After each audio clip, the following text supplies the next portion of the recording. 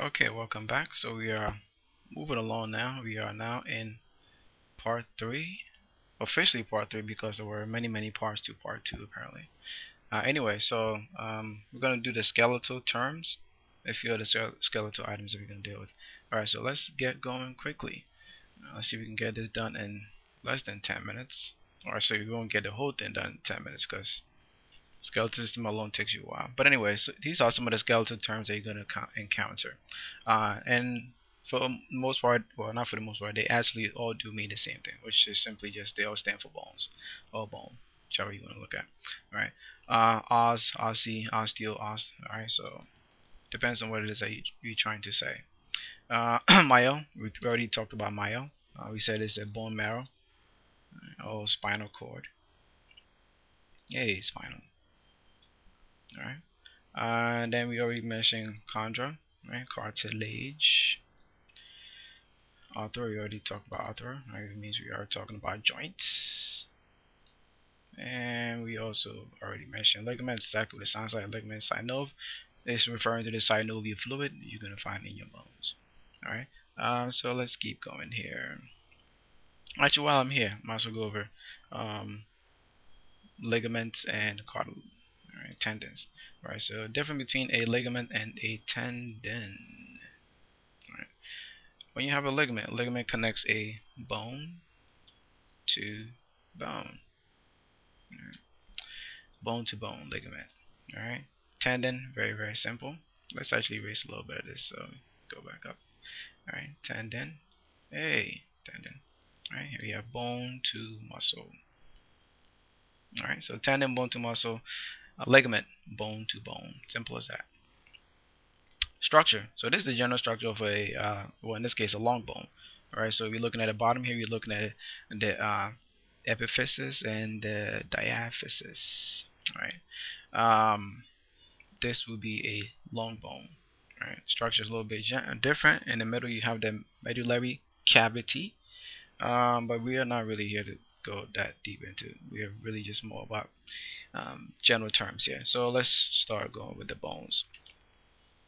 Alright, so let's talk about the bone types. Uh, not yet. Okay, so let's talk about it. Let's make up everything here. Let's add one additional element in here so we can talk about bone types. Bone types. Alright, so typically when we refer to bones, we are looking at four major types of bones. Right? We talk about short bones. Right? And of course, as soon as you see short, and if there's more, then it's probably going to be a long bone. Um, we have a flat bone, and we have irregular, meaning exactly what it sounds like. Shape is irregular. Alright? So let's first begin with our short bones. Alright, so our short bones are somewhat shaped like a cube right?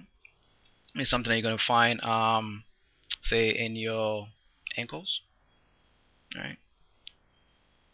Uh, ankle bones, uh, wrist bones, wrist, wrist bones, toes. Right? These are short cubed bones. That's what I call short bones. Right? Uh, let's look at our long bones since we are talking about long bones. Right? Long bones. This is what you typically find in your uh, extremities, your appendages. Well, how many P's was that?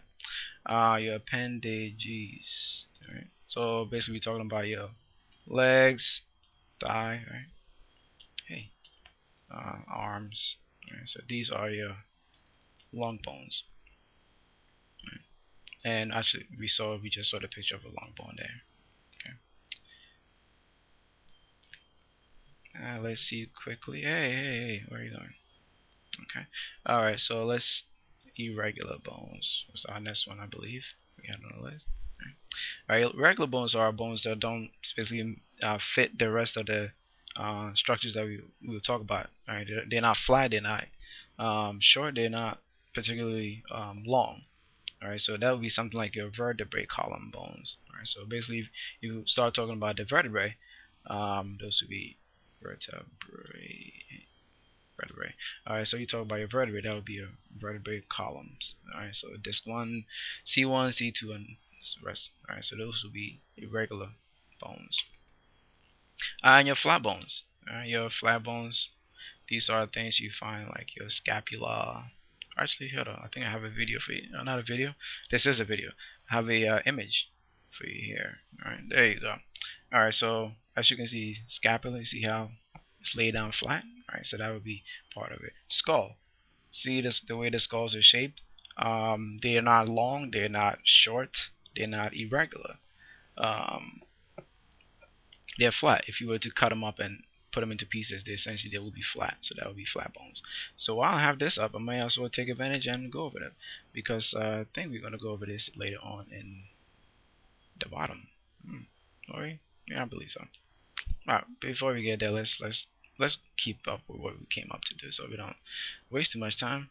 I feel like we're probably gonna end up doing uh, two parts of this, actually many more parts of this. Alright, so on the very outside, here we had the periosteum, which is just a thin membrane that covers the actual bone. Once you cut past the periosteum, you essentially get into the compact bone. This is the this is pretty much what you think of a bone when you think of a bone, right? The periosteum, um, and then into the uh, excuse me, the the compact bone. Beyond the compact bone, you get into the inside here, which is nice and gooey. Uh, if you bite into a chicken, Alright, so you get into the spongy bone. Alright, inside the spongy bone, you're going to find the yellow bone marrow and the red bone marrow, which is not shown here, but you're going to have the yellow bone marrow and the red bone marrow. Very important items because your yellow bone marrow, an easy one to always remember. Just think of, when you think of your, something yellow in your body, typically, well, actually, I shouldn't say that because students always come up with urine as the yellow item. Uh, but fat, right? Fat storage. Um, and then your uh, red bone marrow, when you think of something red in your body, typically blood, right? So that's very easy remember. That's where you have your blood cells, red blood cells, white blood cells, and uh, platelets. All right. So let's get back to that thing that we had, and that pretty much covers everything that we just mentioned, right? Yeah, good. Okay, let's move on then. Alright, so the general composure of your body. Uh, now, of course, every individual is a little bit different, but for the most part, we are all composed of these. Uh, so basically you have um, 80 axial bones and 126 appendicular bones. So just think of this sounds like a big word, it's really not. Right? So appendages, that's all it is.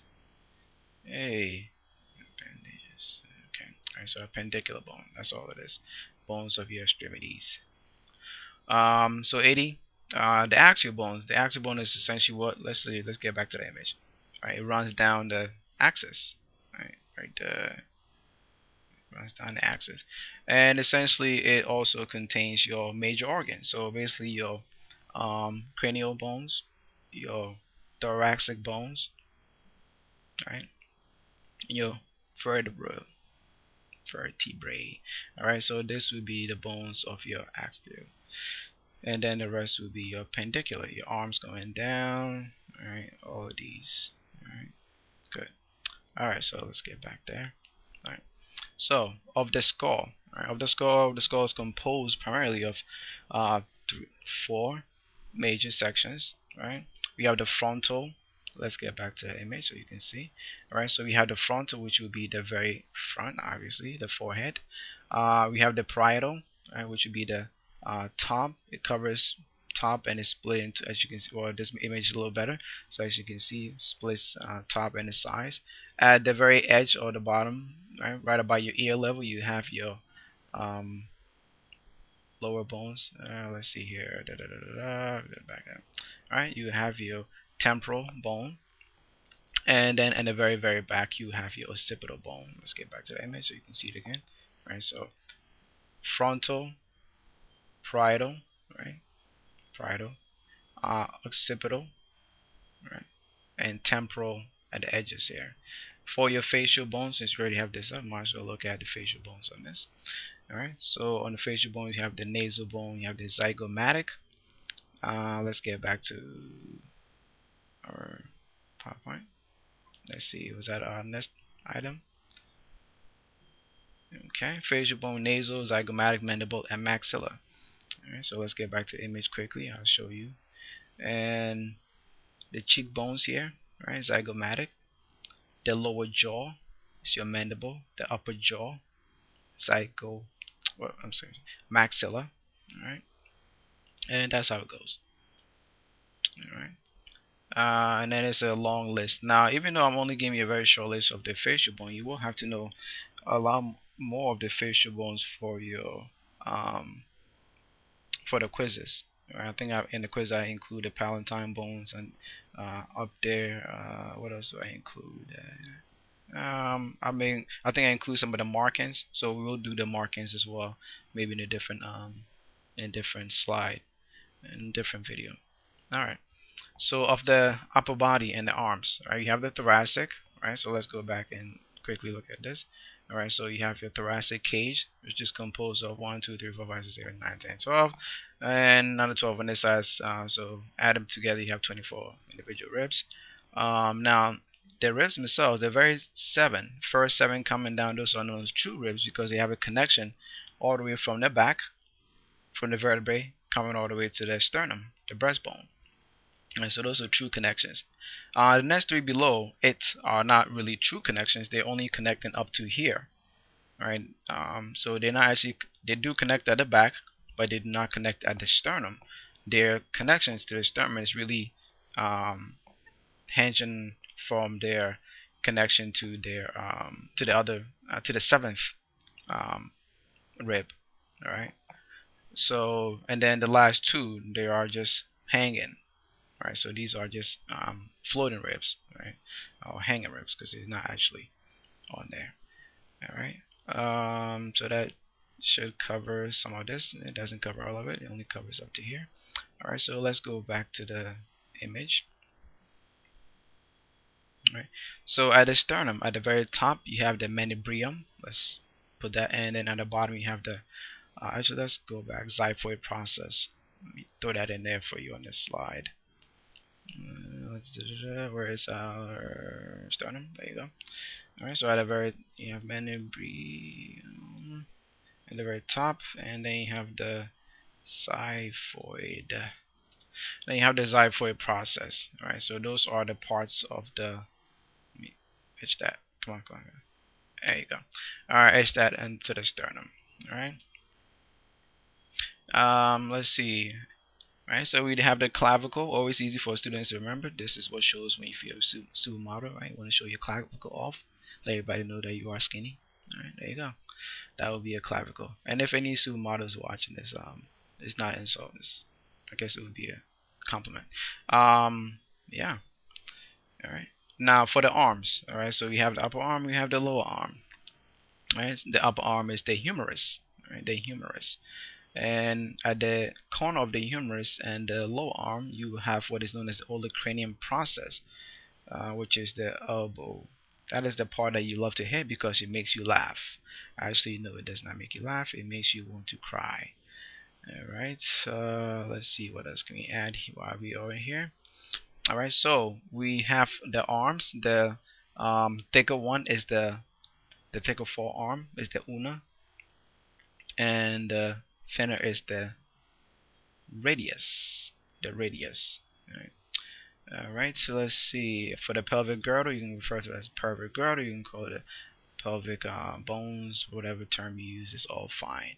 Um, at the very top right we have the ilium um, and then the pubic, pubis pubis pubis would be the uh, the narrow um, hole here right these, uh, I believe I touched you on the ilium just because there's another term that also is pronounced similar but it's spelled differently with an E. Um, okay, for your um, little bones that we talked about, remember we talked about bones of the wrist being cubed. Alright, so we have the carpal, uh, the carpal wrist bones, and then we have the metacarpal, which is your palms. And then we have the uh, phalanges, which are the fingers, uh, fingers and toes.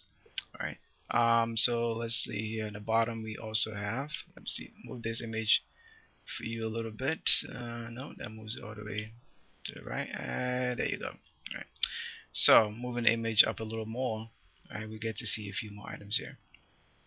All right uh, so we have the femur which is the thigh bone connected to the hip bone. Um, then we have the patella. We have the tibia and the fibula tibia, uh, tibia being the thicker portion, which is more of the uh, medial, whereas uh, fibula will be lateral on the side uh, because you want your weight on the inside and your uh, balance on the outside. Connect to the hip bone. light side. Uh, and then the tarsals, right? So for the tarsos, um, and really the the legs kind of imitate the arms, really. So just like we have the carpals, metacarpals, and phalanges, you have the tarsals, metatarsals, and um, phalanges. Uh, very very simple uh, way to kind of think of it, right? The arms, excuse me, the the finger arms, finger palm uh, imitates the toes and feet. Alright, so that covers that. We will be back into another part and do a little more of that. Alright, so I will see you then. Uh, actually, let me get rid of this image here. Yeah, image, go away. There you go. Alright, see you.